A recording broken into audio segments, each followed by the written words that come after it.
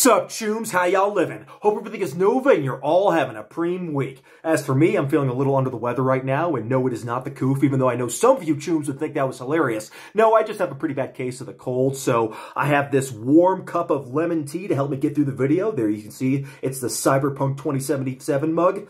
On the back it says, Welcome to Night City. So this is a pretty cool mug, but let me take a sip of it before I continue.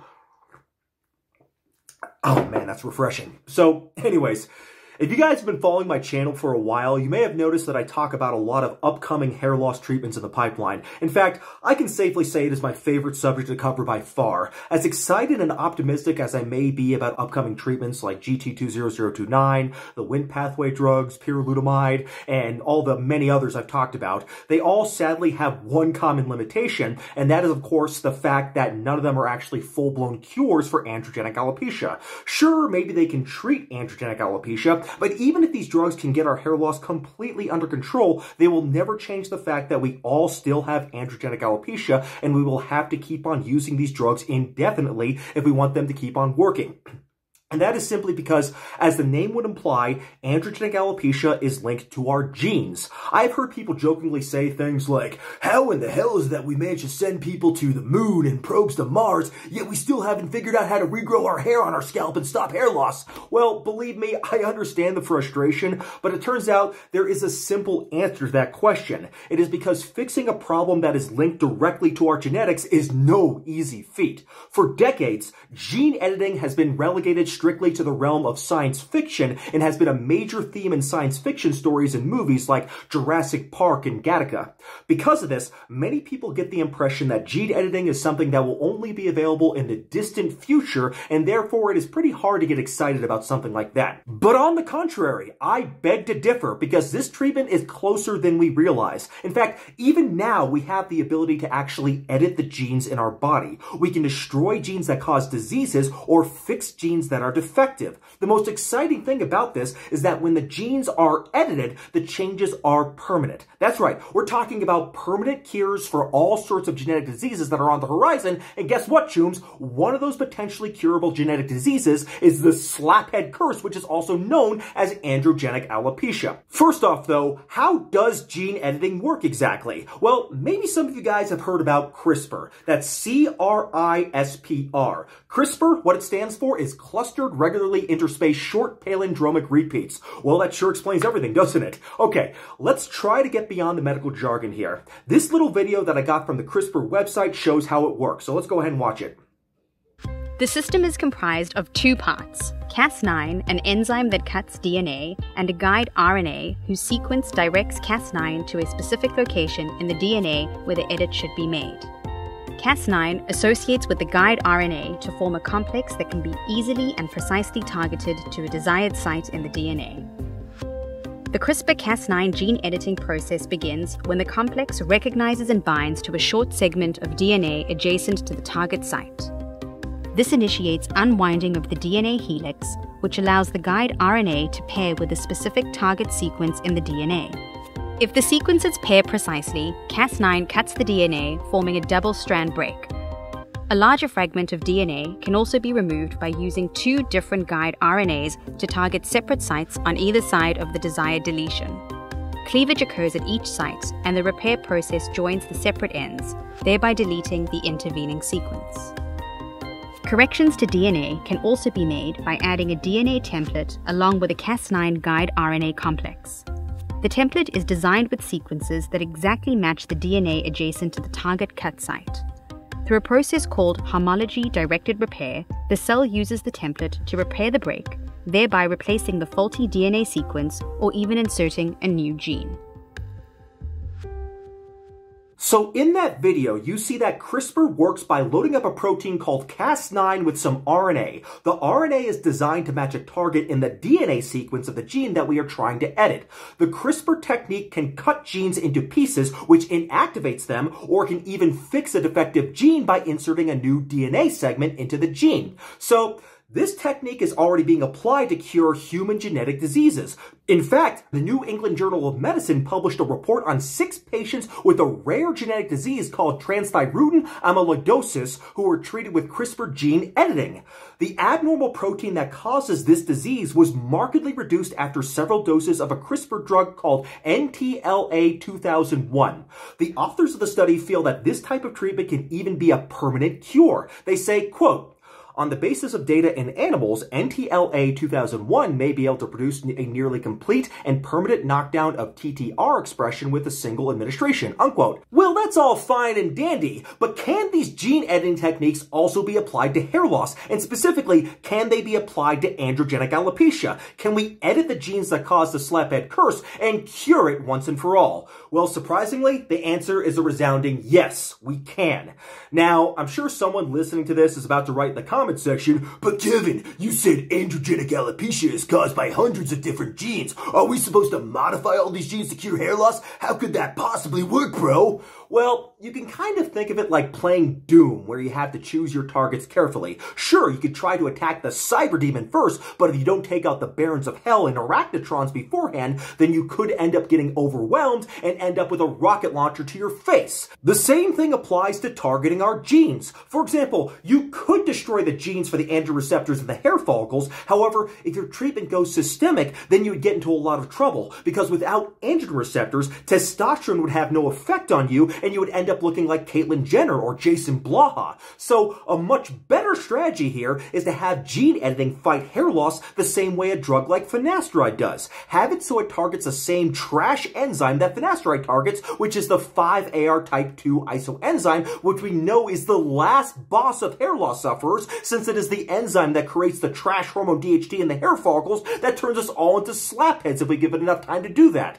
Now, finasteride predominantly blocks the type 2 5 5-AR isoenzyme, but it does have some very minor effects on the 5-AR type 1 isoenzyme and possibly the 5-AR type 3 isoenzyme as well. And if you want to know more about these 5-AR isoenzymes, you should watch my recent video on that subject that I'll link below. But to keep things simple, all you need to know is that it is a type 2 5-AR enzyme that causes all the problems, and the others are not known to play a role in hair loss, so you don't really need to worry about them. CRISPR, though, is more specific than finasteride or dutasteride because unlike those drugs, drugs that have at least some effects on multiple 5-AR enzymes, CRISPR, on the other hand, can target precisely only the type 2 5-AR isoenzyme and could even permanently inactivate it. If you could do that specifically in the hair follicles, you would essentially have a permanent cure for androgenic alopecia. There would be no need to use drugs or any other treatment ever again, since you would effectively no longer have androgenic alopecia. Now, I know what you're all probably thinking right now, but Kevin, this has got to be like 20 years away at least. My hair doesn't have time for that bro. Well, believe it or not, Chooms, this treatment isn't just speculative. It is already being done, at least in rodents, which is preliminary, but it is still a start. This research is being done by a Dr. Rue, who's from the hair loss research capital of the world, Good Korea. In 2020, Dr. Rue published this study titled, quote, ultrasound activated particles as CRISPR-Cas9 delivery system for androgenic alopecia therapy, unquote. In this study, Dr. Rue and his good Korean research team pointed out that CRISPR technology to get rid of 5-AR type 2 isoenzyme already exists. It is possible to create what's called a CRISPR-Cas9 complex like we showed in the video.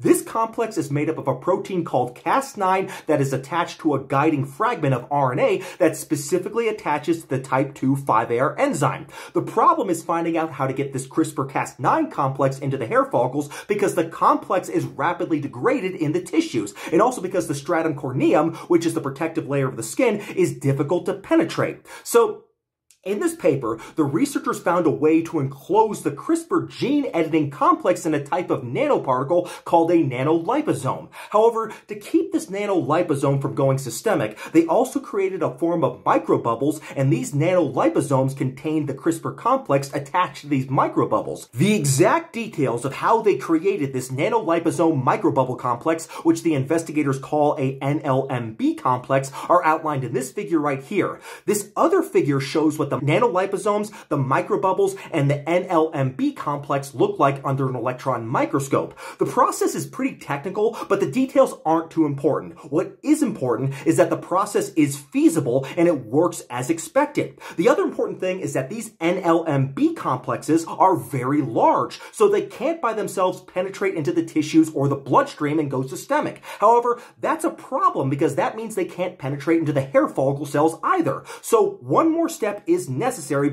That step is to apply high intensity ultrasound to the scalp. This causes what's called sonoporation in the cell membranes. What happens is that under the influence of ultrasound, the microbubbles collapse and cause pores or holes to form in the cell membrane. The nanoliposomes containing the CRISPR genes then enter into the interior of the cells. Inside the cells, the nanoliposomes burst and then release the gene editing apparatus so it can go ahead and do its thing, meaning it can go ahead and knock out the type 2 5AR gene, which is known as SRD5AR2 gene. The beauty of this technique is that the ultrasound can be adjusted to just affect the scalp. So only the skin in the scalp is affected by the gene editing, which means that there would be no effect anywhere else in the entire body. And even better, the dermal papilla cells contain a form of stem cell. So if you edit those stem cells, all future generations of dermal papilla cells will have the edited genes. That's why I said this could actually be a permanent cure for androgenic alopecia. So what were the effects of these CRISPR nanoparticles on the hair follicles in the study? Well, first of all, the investigators showed that ultrasound was indeed able to cause the nanoparticles to release the CRISPR into the cells. This figure here shows that CRISPR, which is stained green inside cultured human dermal papilla cells after the nanoparticles were activated using ultrasound. The next figure shows the suppression of the SRD5A2 protein, which is the type 2 5AR enzyme when different concentrations of the nanoparticles were mixed with the hair follicle cells. So after these cells underwent gene editing, the authors looked at the evidence that DHT was no longer being produced when the cells were given testosterone. Normally, hair follicle cells convert testosterone into the trash hormone DHT using the type 2 5AR enzyme. This leads to activation of the androgen receptors in the cells, which then leads to many destructive downstream effects, and if the levels of DHT are high enough, the hair follicle cells actually die, which is why we go bald. However, gene editing prevented this process, as the authors of the study say, quote, from the results, DHT was effectively inhibited by the disruption of the SRD5A2, the type 2 5AR enzyme, thereby ensuring cell survival. Unquote. The researchers also found that there were no significant off-targets in the cells, meaning the CRISPR just affected the type 2 5AR isoenzyme and nothing else. The researchers then conclude, quote, the selected signal RNA specifically recognized the SRD5A2 gene and expertly edited the target site, unquote. So after doing these in vitro studies, the investigators decided to try these nanoparticles out on shaved mice. The mice were shaved when they were seven weeks old and all their hair was in the telogen resting phase. You see, in mice, unlike in human beings, the hair cycle is synchronized, so all the hairs are in the same phase at once. In human beings, the hair phases are random. Anyways, these shaved mice had testosterone applied directly to their backs every day, which produces DHT and inhibits hair growth. So this is a similar model to androgenic alopecia in humans. The nanoparticle solution was applied daily for just five days along with ultrasound, and then the mice were followed for seven weeks to see if their hair would regrow. The investigators used different control groups. One group of mice didn't get any testosterone or any treatment at all. Other groups got various combinations of the nanoliposomes, the microbubbles, the NLMB complexes with and without the active CRISPR inside, and all these were given with and without applying ultrasound. So there's a lot of different groups we're talking about here, but the results after seven weeks of treatment are shown in this figure right here. The mouse at the top left was shaved, but then got no testosterone or treatment, and all his hair grew back in seven weeks. All the other mice had testosterone applied to their backs, and all these received the different combinations of treatment I just mentioned. Obviously, the only thing that worked was what was used on the mouse in the lower right corner. That was a mouse that received the CRISPR complex encased in the nanoliposome microbubble complex that was activated by ultrasound. That mouse had 90% recovery of hair growth compared to the control mouse, and hairs were in the antigen growth phase as opposed to the other mice who received testosterone where the hairs just stayed in the telogen resting phase. Well, They next analyzed the skin of these treated mice and found that the NLMB activated by ultrasound penetrated the skin and entered the dermal papilla cells. There was a 70% reduction in the 5-AR enzyme in the mice treated with the nanoparticles, which you can see in this graph here, where the bottom pink line is the active treatment. The researchers found that, quote, Western blotting showed that the expression of the SRD5A2 protein significantly reduced due to the edited SRD5A2, unquote. The researchers also looked at the other mouse organs to make sure that there was no effect on these organs. They found no effect on the 5-AR type 2 enzymes in these other organs at all. Now, the investigators didn't do any long-term studies on these mice, but theoretically, once these genes are edited, they would pass these edited genes along to the descendants of these hair follicle dermal papilla cells. So gene editing, unlike every other hair loss treatment I've ever talked about on this channel, could be completely permanent, which would make it by far the best hair loss treatment treatment ever imagined. Calling it a treatment doesn't even do it justice. No, this is a full-blown cure because the outcome is no more androgenic alopecia. Your scalp will basically be the same as someone who didn't inherit the androgenic alopecia gene. Imagine a dermatologist applying some stuff to your hair daily just for a week or so along with ultrasound and then you never have to worry about your hair ever again. That's how good this treatment really could be. This stuff reduces the type 2 5-AR enzyme by 70% in the scalp, which is more than 1 milligram daily daily of finasteride or 0.5 milligrams daily of dutasteride, which suppresses it by 50%. Literally, the only thing out there that can be used safely that rivals it at the moment is 2.5 milligrams of dutasteride daily, since that suppresses scalp DHT by about 80%. But if the effect is truly limited to just the scalp as it appears to be, then there would be no more worries about any side effects. There would be no effect on the type 2 5-AR isoenzyme anywhere else in the body. No effect at all on the type 1 or type 3 5-AR isoenzymes. So there Therefore, there would be no more lame excuses to not start treatment, saying things like you can't use finasteride because of my neurosteroids.